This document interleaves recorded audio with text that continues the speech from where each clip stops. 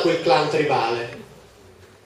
E Caino dice, ma se voi mi allontanate di qui, chiunque mi incontrerà mi ucciderà. Ma chi è sto chiunque, se erano i progenitori dell'umanità? Era pieno di gente lì fuori. Il problema qual era? Che loro erano un gruppo altissimamente acculturato, perché lavorava per gli Elohim, a stretto, e Caino aveva il terrore di finire in mezzo ai barbari, no? E dice se io finisco lì quelli mi sgozzano, invece gli è andata bene, ha trovato mogli, ha fatto figli, e dalla discendenza di Caino so, vengono fuori tutti quelli che conoscono l'arte delle costruzioni, la musica, l'allevamento, la pastorizia, la coltivazione.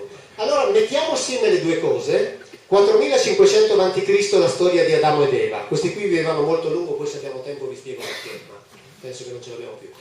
Ehm, passano quindi insomma un certo numero notevole di anni, questi qui, e siamo nella zona lì dell'attuale Azerbaijan, questi qui vengono cacciati, quindi un gruppo fortissimamente acculturato, un clan tribale, fortissimamente acculturato, dotato di un sacco di conoscenze, viene fatto uscire dal Gan Eden e improvvisamente compare lì una società completamente formata. E se mettiamo assieme le due cose, ci spieghiamo tutto. Quelli fuori erano, quelli fuori vagani? Erano il Sapiens, ma molto più vari, sì, erano i Sapiens, sì. Fatti da loro intorno al 200.000 a.C. Eh, chiudo magari con questo, poi non so mi dirà. Così.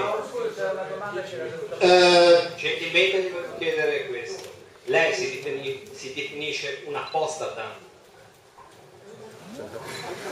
mi definisco un curioso. Chiaro una spiegazione un po' più Com'è? Gentilmente mi può dare una spiegazione più profonda. No, io sono veramente un curioso che a un certo punto ha sentito il bisogno di andare al più vicino possibile alle fonti da cui deriva la religione nella quale sono stato educato, quindi mi sono avvicinato alla comunità ebraica di Torino e ho studiato l'ebraico con un loro insegnante e, e, poi man mano sono andato avanti traducendo per, mi vengono fuori queste cose, le racconto con la consapevolezza, come ho detto prima, che la Bibbia potrebbe essere Pinocchio. Però dico almeno quello c'è scritto. Poi... Ma non è qualità no, non mi soddisfa la sua Prego. Ma apostata vuol dire che ho tradito una, una fede, una confessione. Sembra che lei eh, ha presunzione di avere la ragione e la verità in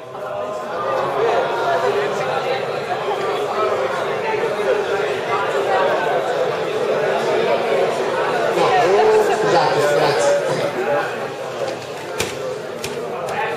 Io ho una presunzione, una presunzione. Sì, no, no, no, no, ci mancherebbe, ma eh, ci mancherebbe. Eh, così, insomma, sono, sono, sono, no, sono stimoli interessantissimi. Io ho una, Esattamente. Esattamente. Io ho un, una presunzione, quella di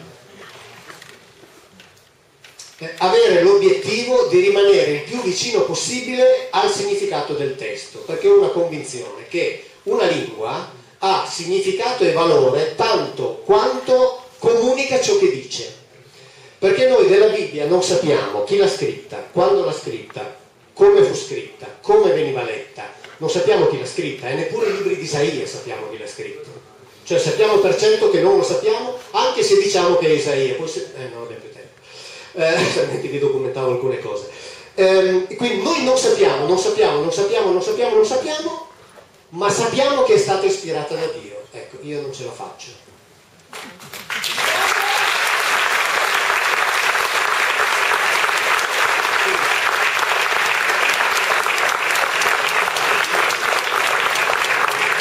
fatto... Posso rispondere a altre due domande? Domande però ce ne sono una prenotatela in alto, okay. sul microfono, secondo solo. Grazie.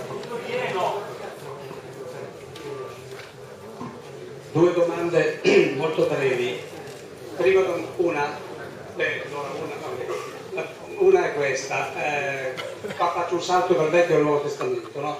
quando Gesù Cristo sulla croce dice Elohim, Elohim Labba Sabattani Ecco, questo Elohim, secondo lei, chi è? Come traduce questo? Dice, seconda, seconda domanda velocissima.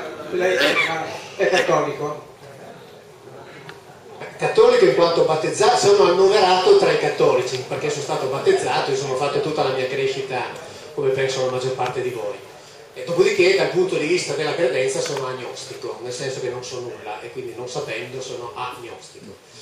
Eh, per quanto la, la, cosa che ha detto la frase di Gesù Cristo che è El-I, El-I, le mas vaktan I, cioè El mio, El mio, quindi al singolare.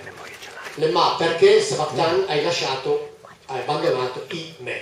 Lì c'è una curiosità, che è un'espressione che formalmente corrisponde al primo versetto del Salmo 22, che è il salmo nel quale un sacerdote di Gerusalemme eh, lancia un grido di rabbia perché ritiene di essere stato ingiustamente condannato. E il versetto ovviamente è in ebraico. Nella citazione invece nei Vangeli che sono stati scritti in greco, salvo alcune pochissime parole scritte o in ebraico o in aramaico, al posto della, letter, della parola ebraica è stata inserita la parola aramaica sabat, sabat che è la radice sorpio, che in ebraico non esiste. E quella significa abbandonare, ma il significato originario era un altro, era le mahasaftani, cioè perché mi hai condannato, non perché mi hai abbandonato. Quindi, se facciamo finta che Gesù Cristo sia esistito,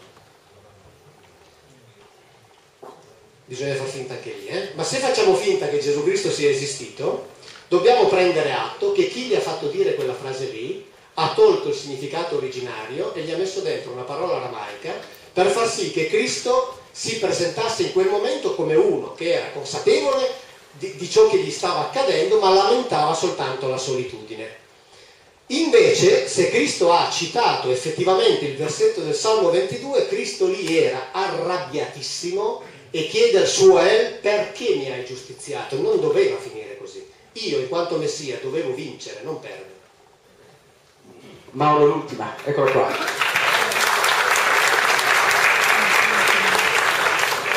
Dove? Scritto un libro contemporaneo suo che si chiama La Bibbia decriptata. Sì. Da quando scrivo questo libro, dal 2006 al 2011, vivo in mezzo ai fenomeni paranormali. Sì. Tutti testimoniati dai, sempre dai carabinieri del mio paese. Sì. Io vorrei sapere se lei capitano fenomeni paranormali. No mi hanno cambiato delle pagine nel computer, mi hanno cancellato da pagina 80 a 100 della prima stesura uh-huh. E i carabinieri dicono Microfono. che di intelligence, i servizi segreti. Ho capito. Io vorrei sapere se lei capita gli stessi fenomeni. No, allora guardi, le dico che cosa capita a me. Eh, dieci giorni prima di Natale ho ricevuto una lettera con pallottola dove mi si dice che se continuo a fare le conferenze sono costretti ad ammazzarmi. A febbraio ho ricevuto una richiesta di andare a visionare dei reperti non ben identificati in provincia di Milano. Ho detto che non faccio quel mestiere. Eh, dopo due o tre giorni, richieste anonime, dopo due o tre giorni mi dicono, ah, ma tra quei reperti ci sono scritti in lingue semitiche, ho detto benissimo, portateli ad una università che abbia un dipartimento di filologia semitica. Passano due o tre giorni e mi dicono, ma con quei reperti si possono fare un sacco di soldi, ho detto bene, bravi, fateli voi. E poi hanno smesso, perché dico, se mi devono sparare, che vengono almeno loro da me cioè non è che metto io la benzina da Torino per andare a farmi sparare in provincia di Milano, cioè che almeno debba essere comodo per me.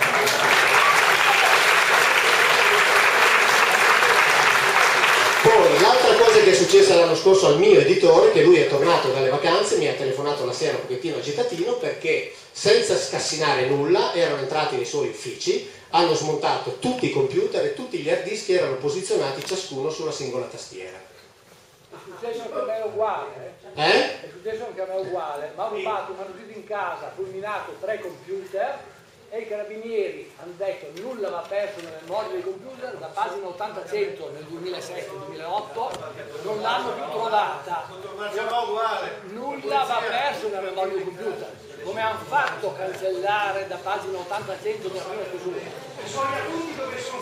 Eh non lo so me l'hanno rubati tutti a luglio. Anche a me.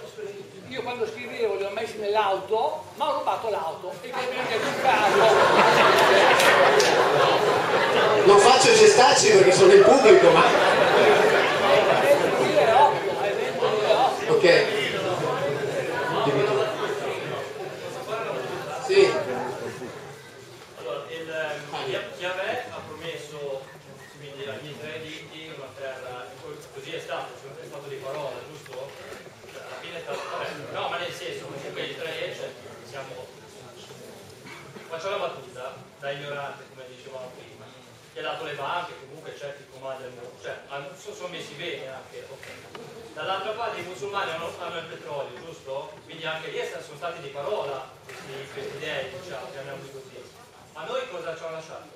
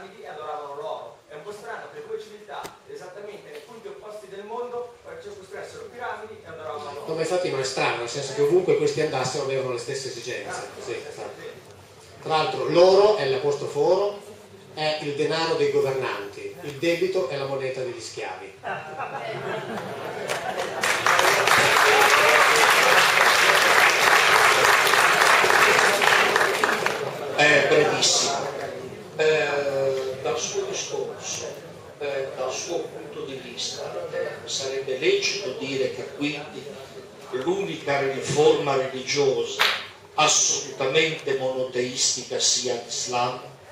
Grazie. Dunque, non eh, saprei se poterla definire a rigor di termini monoteistica perché il concetto di teismo è un concetto tipicamente ellenistico, cioè arriva dal pensiero greco, dall'idealismo neoplatonico, eccetera eh, mi è difficile dire che quello sia il Dio unico piuttosto che non il più importante tra i tanti possibili. È chiaro che anche il, il cattolicesimo è di fatto monoteistico perché poi afferma l'esistenza di un Dio unico, no? da questo punto di vista. Però sono, e su questo per esempio ci sono molti rabbini che giustamente, rabbini della Rabbinical Assembly degli Stati Uniti, che sono arrabbiatissimi perché dicono ma non è giusto che voi cristiani prendiate i concetti greci e li cagliate dentro quel libro lì che con quei concetti là non ha nulla a che vedere. Perché il pensiero giudaico è un pensiero estremamente concreto. Eh, il, il um, concreto in tutti i suoi racconti, no?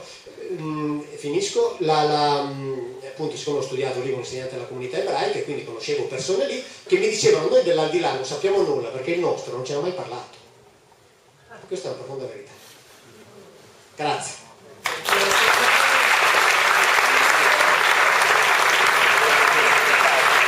Grazie davvero a Mauro Bonino. Io mi rendo conto che dovremmo andare avanti, non ce la facciamo più perché abbiamo dei tempi ristretti.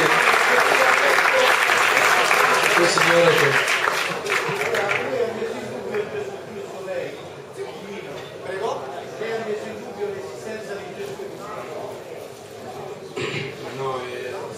ho detto che dobbiamo far finta perché non ci sono prove storiche della sua esistenza, solo per quello. Io le spiego, sì. io le spiego che a Roma c'è una signora fatto per anni tutte le fotografie con soggetti religiosi. Sì. Tant'è che eh, durante la messa insomma lei ha fatto il cielo, vedete questa, questa foto dove Cristo entra nel calice. Uh mhm. -huh. Per cui sono tutti soggetti della religione cattolica, Padre Dio, Madre Teresa di Calcutta. Allora lei come spiega questo fatto che lei fa il, il, praticamente con la, con la Polaroid, che l'ho visto io, mentre scattavano altri, se dobbiamo prendere panorama lo prendiamo tutti e quattro per dire, no? E invece lo prende solo lei. Come lo spiega lei? Eh, non... Bisognerebbe esaminare bene il caso.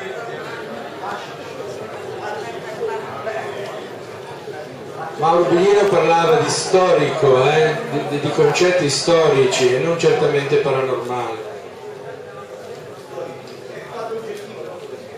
No, eh, ha parlato di Gesù come figura storica, è un altro discorso.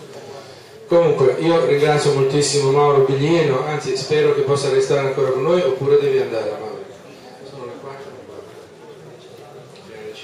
Ok, allora resta ancora un po' per noi. Allora invito il dottor Moretti e Piero Gianfretta a salire qui sul palco.